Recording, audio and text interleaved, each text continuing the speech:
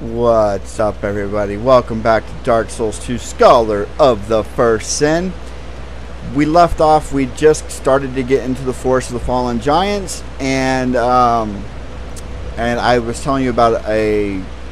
Some people call them ogres, some people call them cyclops. I call them hippoclopses. That's my name for them. They don't drop us um, items specific to them, so there is no official name for them. So you can call them whatever you want.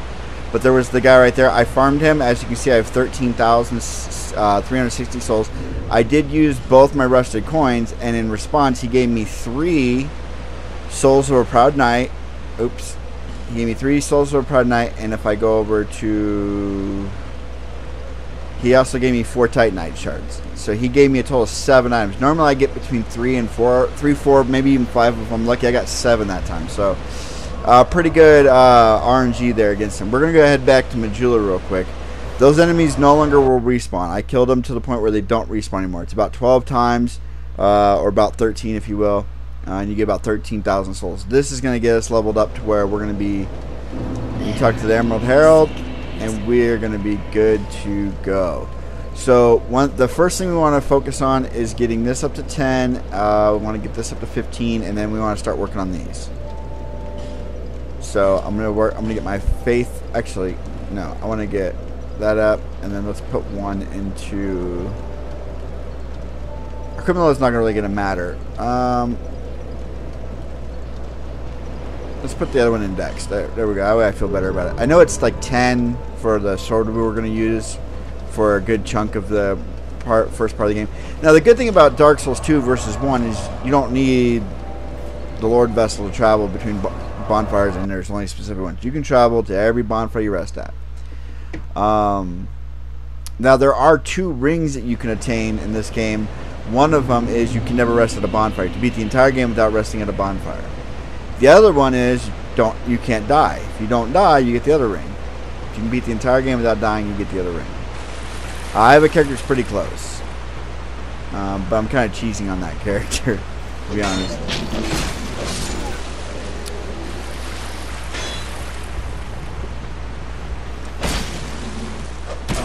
Aye.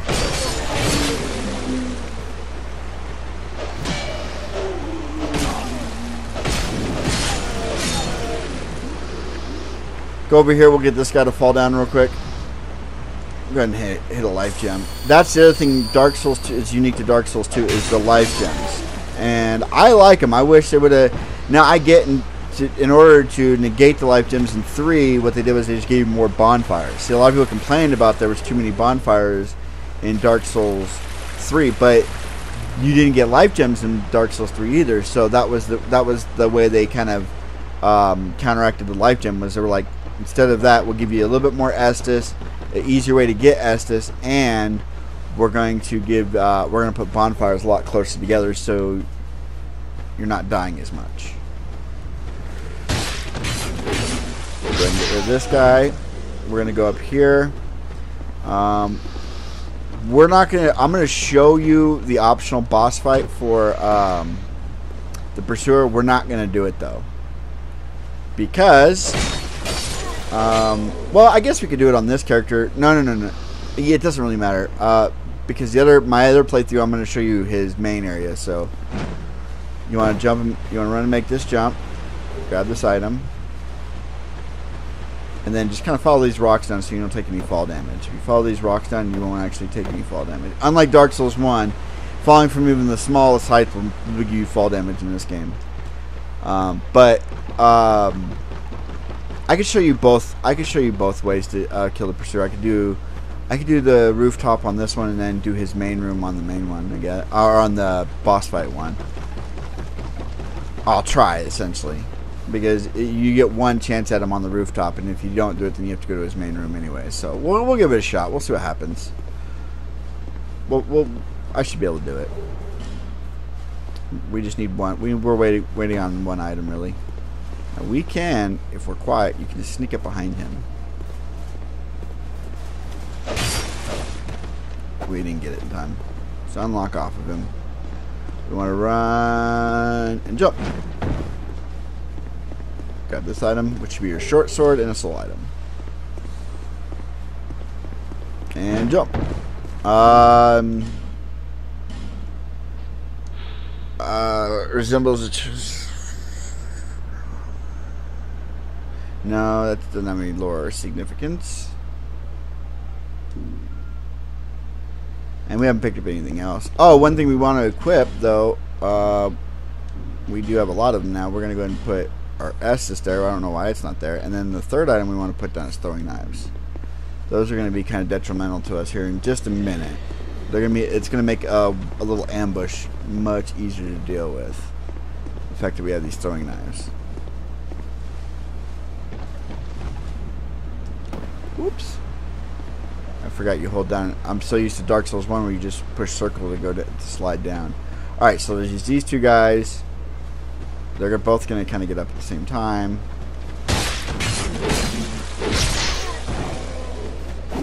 We got three of them actually.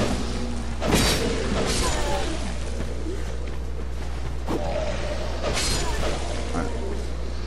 And then we can start getting them one at a time. Getting those backstabs is crucial.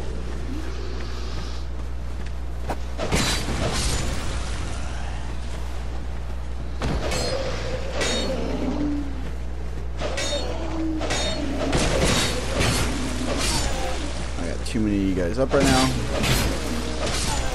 Get rid of him. The life gem. Uh, oh, he dropped. Did he drop his bastard sword? Damn it. So when he dropped the bastard sword, like, oh, never mind. We're going to use that. Human effigy. The other one's just a broken sword. But again, all these guys are laying down. They're all playing possum. Now, in the original Dark Souls 2, before they did Scholar, there used to be a Heide Knight here. He's not here no more. He's he's somewhere else. And I forgot to bring that up, but there is actual. When you start the game, once you get to Majula, there is two ways you can go about this game. You can come where I came, which is the Forest of the Fallen Giants, or you can go to Heide's Tower of Flames, which, by all means, you can go do that. Understand, it's much much harder. It, it, it's it's actually like the second level of the game, so it's going to be a lot more difficult starting out, but you can do it. It is doable. I've done it. Um, uh, the bosses, you reap more souls from the bosses, I believe. But, yeah, I mean, it's up to you. I think we got everybody. Oh, yeah, that's everybody. Okay. So we're going to go through here. And, we're all right, we got plenty of time to get what we need to get. So you want to go here and roll backwards. Every time you hit a wall, it degrades your weapon too. So keep that in mind. Like the see my my weapon in the bottom right hand right here. Do you see that little red bar below it? That's that's the durability of your weapon. As as you hit walls and enemies, it goes down. The more walls and enemies you hit, the the more walls you hit, the faster it's going to go down. So you want to try to not hit walls if you can help it. We got another throwing knife, which is nice. Behind here is some wooden, uh, some wood bolts. 20 of them to be exact, which is good because we're going to probably use those.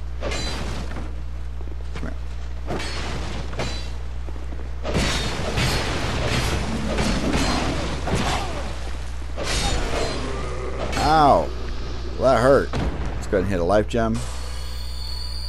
I'll, I'll have 99 of these things before too long, so just to let you know, I live I live on life gems. All right, so we want to go ahead and switch to our throwing knives now. Um, there's gonna be two enemies here. One's gonna have a bow, and one's gonna have bombs. We want to lock on that guy. We want to throw throw that at him. He should fall down. No. There we go. Okay. Make sure we're locked on.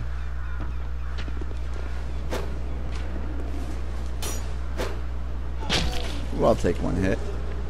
Hollowed soldier leggings, nice. That's the last guy up here, but there is an archer. You can lock on and hit from here. Uh, just for extra souls, essentially, because you're going to kill him again anyways. But the shield that we need uh, to fight the pursuer is right here. The buckler. And the reason is, is because this has a parry. See the parry on this? Very quick parry, right? The buckler, I'll put it right here just to show you. I'm not able to use it yet, that's fine. Um, has a very long parry window. You see how much wider that is? quick, quick, wide. Am I fat rolling? Yeah, I'll just leave it. It's fine. We're fine for now. I'm I'm I'm kind of I, my my frame my rolls are a little slower than I'd like them, but it's all right. There's a knight over here. He has a chance of giving you a sword too, so just keep that in mind if you're trying to get the bastard sword before you get to the area where it actually drops. That you can farm this guy. He does have a chance of dropping it. Witching urns are always good. We're gonna go in here and find my favorite uh, merchant in the entire game, Melentia.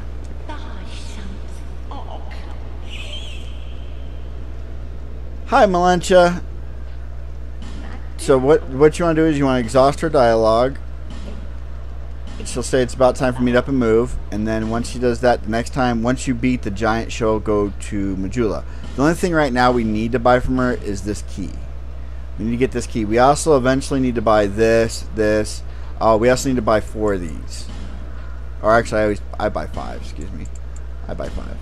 Buy five of those and um, I'll show you why. There's also, um, if you're doing sorceries, an extra thing of soul arrows here, and if you're doing miracles, an extra heal here. Um, she does sell the traveler set. This helmet I would buy because it increases your drop rate.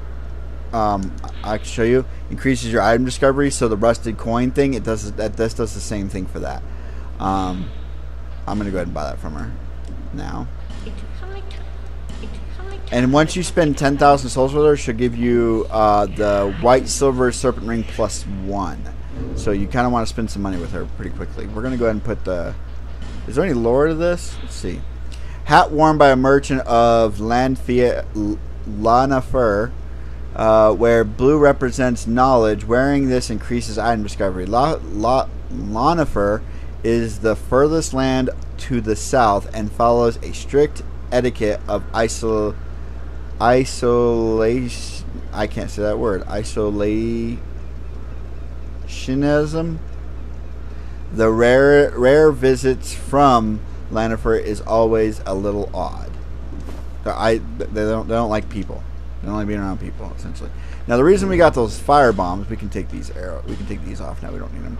Uh, is to unlock uh, a chance to unlock a shortcut. I buy five because I don't want to waste my money. You want to kind of stand right where these two bricks are and look down and throw a bomb right here. If you do it right, you'll blow open a shortcut that you would normally have to go around and get done. Now we can rest at this bonfire. You can light it, then rest. And we have the shortcut to uh, our first boss. And we are at the 13 minute mark. We got plenty of time to go get our weapon, level it up, and go try to take on the pursuer. Sweet. Alright, so we want to come up here. If you ever, if you're new and you come up here and you go to open the door and it says it's locked, if you look at it, you can tell it's kind of a weak door. We want to get this crystal lizard. There we go. Give me that tight, those two tight titanite. That should give us a plus five right there. There's a chest here. You might miss that because it's dark. Um, there's an axe back here which is good. It's a good weapon to replace this your broadsword if your broadsword starts to get uh, broken. There's a helmet, and then there's a hollow, and then there's your soapstone. Your first soapstone's right here. There's a hollow right here. He won't get up until you get close to the chest that's over here. So you can do whatever you want, but as soon as you get here, he gets up.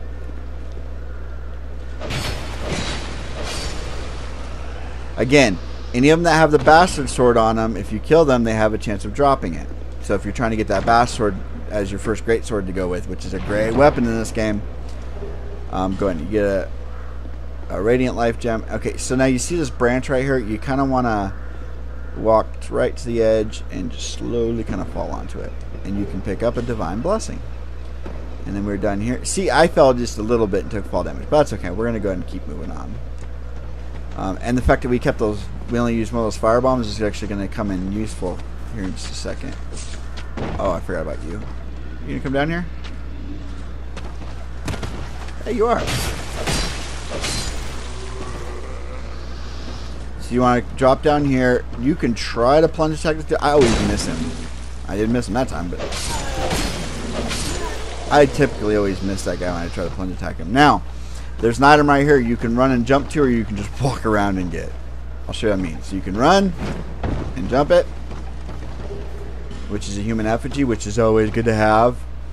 Um, extras of those. Or if you follow that, you can walk right up this, this tree branch right here and get it.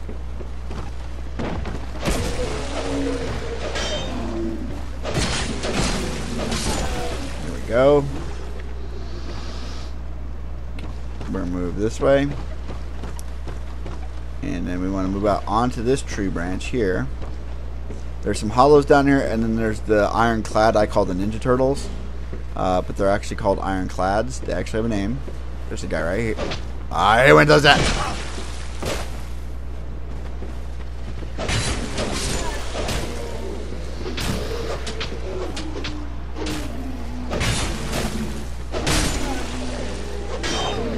Stop locking onto people I don't want to lock onto. Life gem. That's what my that's what the candy's for. Eat some candy. I'll pop two of these just to make sure I'm good.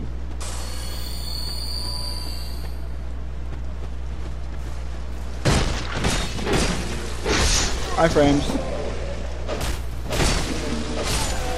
So there's an ironclad in here. And they're really weak to fire. As you can see. Come here. Two, three. He's gonna do a fourth swing, and then into another. Kill him. They can drop their armor uh, when you kill them. Here's another one. One, two, one, two, and three.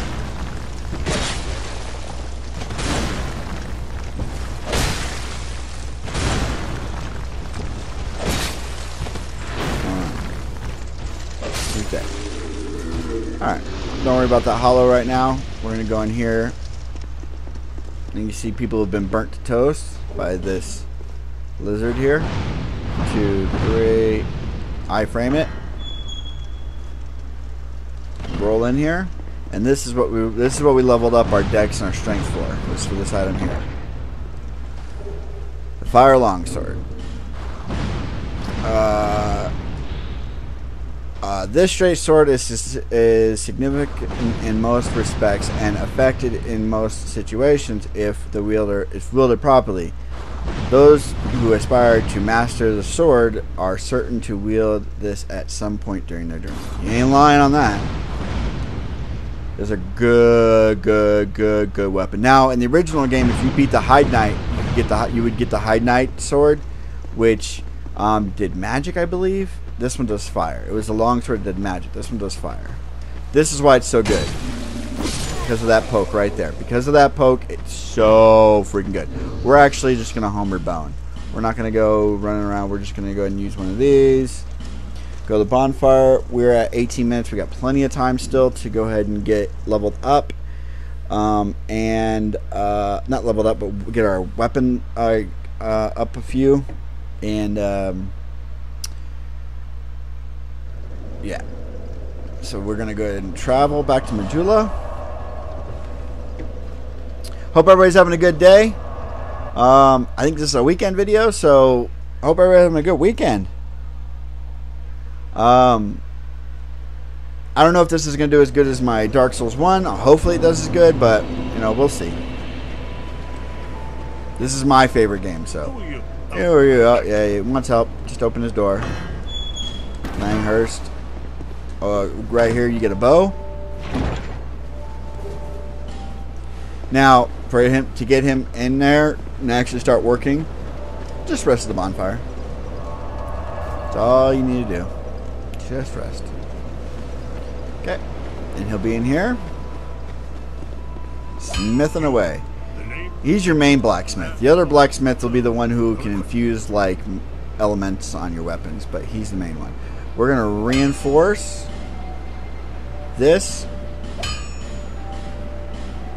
Okay, we got it to plus three, so and we need large titanite to get it past plus three. We don't have it, so we got it to its highest level we can get it for right now because we don't have any large titanite yet. which is really this thing is really already pretty freaking OP now. All right, so we're gonna go ahead and teleport back to, oops, uh, Melentia's bonfire, and we're gonna take on, we're gonna attempt to take on the pursuer, which is technically the second boss, but you can take him on early, make him the first boss if you beat him early. But this weapon is devastating now. So what you want to do is you want to come out here and come back in.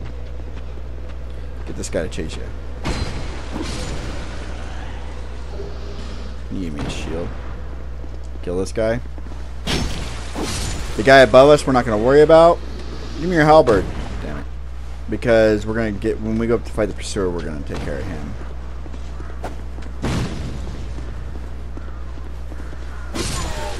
One hit. Now what we can do with this guy is we can actually kite him kill himself. Check this out. See these barrels right here? Oh, we missed it. Come on, dude. You kind of hurt us in the process, but you can do a lot of damage with those barrels. We'll go ahead and pop a life gem. And we're gonna switch the buckler, which what what what do we need for that? What's the stats for that? 13 dex, and we only have 11. Okay, that's fine. We'll get we'll get the 13 for it. It it, it doesn't affect its parrying ability. There's the pursuer. We want to go over here real quick and knock him off, so he doesn't mess with us. But the pursuer is one of the easiest bosses if you know how to parry. Don't let him do that to you. That's a curse. If you know how to parry, like that, he's one of the easiest bosses in the game. And you need to learn how to do that because you're going to come across him a lot in this game.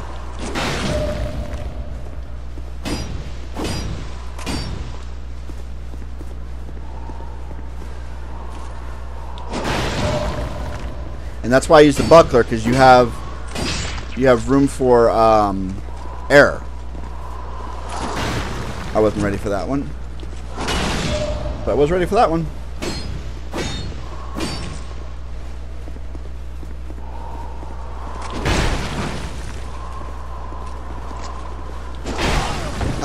Come on.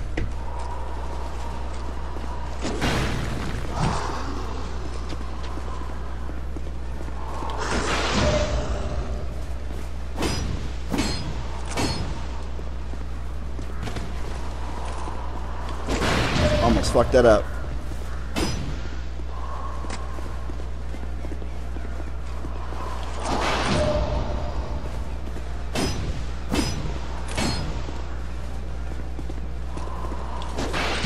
And he's dead. Now, thing you need to do is quickly get up. Not let this happen.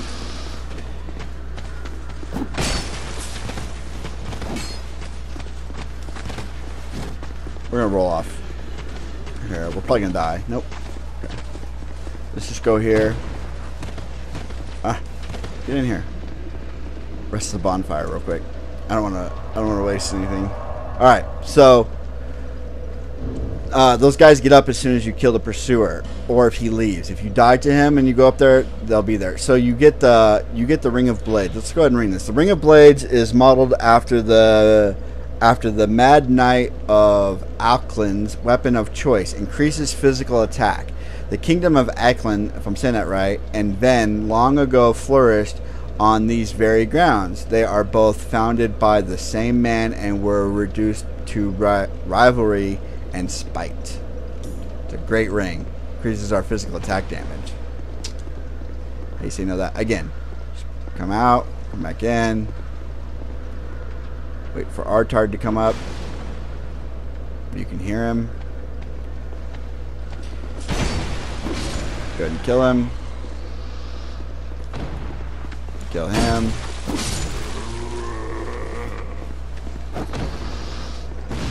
Hey, we're not worried about him yet.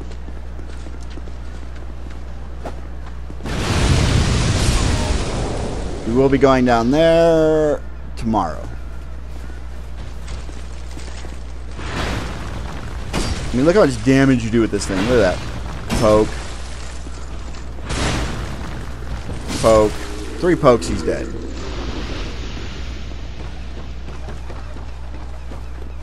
I want to get to this guy first. Because he's the one with the shield. The other two don't have shields. See? The other two are pretty easy to deal with. This guy, again, we just run over here. Run over here. Ah. Okay. Alright. Now he dies. Up here with me. We're going to go and pick up. There's a life, uh, not a life gem, but a uh, Estus flask up here. See? So you now you got plus three already. Or not plus three, but you have three S's now. Alright. So where are we at on time? 25. Yeah, we're going to stop this at the 25 minute